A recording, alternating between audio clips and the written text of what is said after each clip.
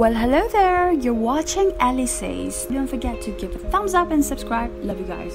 Today I'll be sharing my take on The Rain series explained. The 2018 to recent years Danish post-apocalyptic web television series created by Jannik Tai Mosholt, Esben Toft Jacobsen, and Christian Potalivo. The series follows a young woman named Simone Andersen and her younger brother Rasmus Andersen, who survived from a deadly rain-carried virus that wiped out the entire population in Scandinavia when they hid themselves in an underground bunker for six years without any communications and knowledge beyond those bunker walls. Simone and Rasmus have no idea what they are fighting against and the unknown threat outside those walls as they are forced to find a way for them to continue to survive. There's a lot of flashbacks on each character background story, fitted in throughout the story moving forward. Started off before the rain happens. Simone and her brother Rasmus was brought to a bunker by their parents since their father, as a scientist, was responsible in creating that chaos. The rain falls. And people out there is in chaotic moments. I'm telling you guys they're screaming everywhere dying asking for help.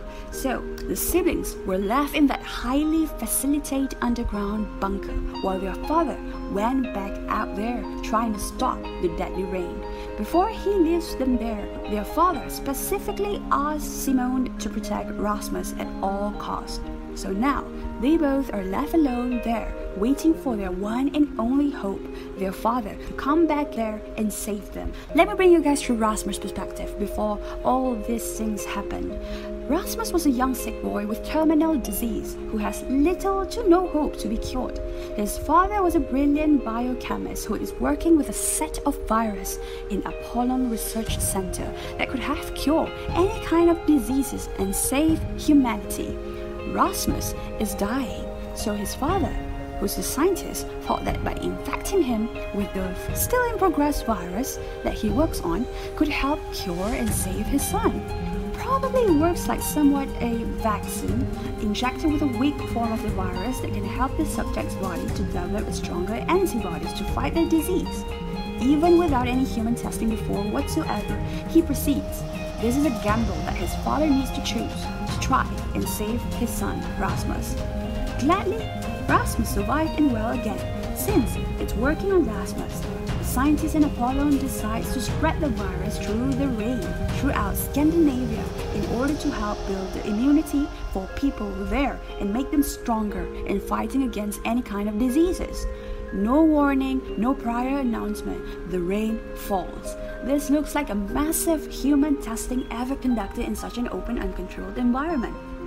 Unfortunately, the rain's outcome seems totally opposite from what they've been hoping for. As the rain falls, people come in touch with those droplets. They were infected, yes, but turns out turned them into a monstrous-like being before died later on. That worked, right? Whether Apollon knew of the outcomes or they gambled like Rasmus' father did, it still remains a mystery. It looks like a bioweapon massacre in Scandinavia. Since Apollon released rain, Rasmus' father decides to bring his family and hid them in an underground Apollon bunker to save them from the rain and the people of Apollon from searching Rasmus. You know, Rasmus was the first successful subject ever survived from that infected virus, so the answer lies with his body. Rasmus was left alone with his sister Simone in that bunker, waiting for their father to come back for six years. Rasmus has completely no idea of how important he is to Apollon since he's the only survivor that is left, an unmanned prototype immune from the virus. Six years of living inside a bunker, their food supplies are running low, which forced both of them, Rasmus and Simone, to leave their bunker and look for another bunker for more food supplies and with the hope of encountering other survivors. Hence, they met the group Martin, Beatrice, Leah, Jean, and Patrick. They went to find out the bunkers together and trying to look for Rasmus and Simone's father to seek refuge. Throughout the journey there, we can really see how dangerous Rasmus can be since he can't control the virus any longer when the virus grew stronger inside of him and starts to infect others, especially when he's enraged or emotionally triggered. In order to fix their wrongdoings, Apollon tries to hunt for Rasmus and captured him for experiment purposes. This is when they found their father, who warns Simone to either cure or kill Rasmus, since Rasmus is far too dangerous to let him let loose. Like I mentioned before, the virus will grow stronger when Rasmus was emotionally triggered.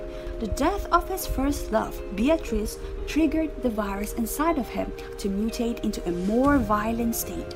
His sister, Simone, did anything she could to cure him and destroy the virus, even to the point of forcing the cure on him. Little did she know that her efforts are only going to make it worse for him. Rasmus has grown assimilated with the virus, becoming one invisible force that could kill a lot of people. He now gained complete control of the virus since his wounds can heal extremely quick after he was shot by his sister Simone. After seeing Rasmus' condition, everything's changed. Rasmus left his sister to join the dark side in Apollon, where they decided to not cure but weaponize the virus and infected others, since they possess both the disease and the remedy of the virus. Knowing that the virus will only successfully inhibit and cure the host with illness and not healthy people, Apollon decides to gather all the sick people inside their headquarters and convince Rasmus to infect, cure, and weaponize them. Apollon manipulating Rasmus, and Rasmus became a dangerous villain to the story. Simone who believes that humanity doesn't need to get infected in order to survive, needs to fight back against both his brother and Apollon and the life-threatening virus to save the last remaining humanity from dying. Three reasons covering this fast-paced yet intriguing and interesting storyline with great emotional empathy compact and action scenes combined. Definitely a series to be binged on. So that's all from me today. Subscribe, like, and share. Stay tuned for the next series as I'm uncovering Harry Potter series next time. So ciao!